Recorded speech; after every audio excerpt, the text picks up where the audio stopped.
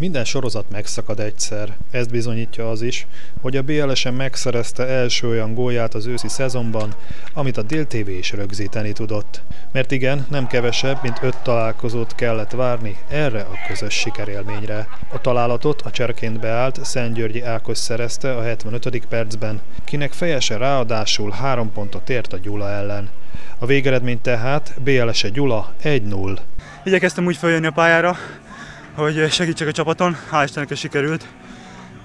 Nagyon örültem a gólnak természetesen. Sérülés miatt nem játszottam előző fordulóban sem, most is csak néhányat edzettem, ezért nem is volt megfelelő az erőlétem sem, meg hát néhány edzéssel nem lehet rögtön a kezdőbe kerülni.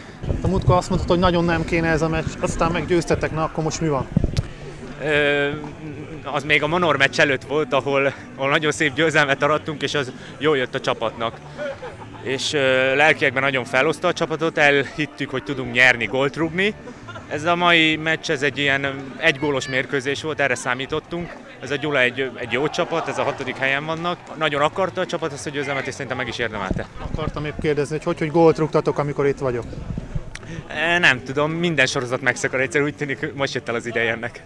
A találkozó finoman szólva inkább küzdelmes volt, mint látványos, hiszen a kapuk csak elvétve forogtak veszélyben, így a két hálóőrnek feltehetően nem volt nagyon melege, akár csak a kilátogató nézőseregnek. A mezőnyjátékosoknak azonban nem okozott tetéren problémát a tavaszról előrehozott mérkőzés. A BLS -e remek hajrájának köszönhetően 17 megszerzett pontjával a telet a 12. helyen töltheti. A csapat december közepéig edzésben marad, majd egy hónap pihenő vár a fiúkra, hogy aztán januárban újult erővel kezdhessék meg az alapozást.